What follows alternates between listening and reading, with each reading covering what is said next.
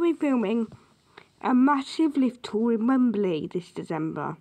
Sometime this December. And the main one will be Asda and we'll be doing a couple of rides. This will go on YouTube maybe in 2024 maybe. But I might take my iPad there too. I might take my iPad to that time, to that place. But I will be taking, I'll be filming it on my phone, by the way, not my Samsung tablet. This Asda uses a Kone Ecodisc. When it got refurbished, it still has the Ecodisc, still the same one. But it just replaced the advert. Then, but first we'll be doing Wembley Park Station. Sorry about that. About filming Wembley Park Station and Asda and a lot in Wembley and even car parks.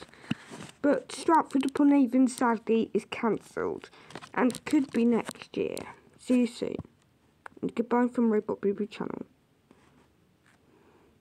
And includes could include safety brake.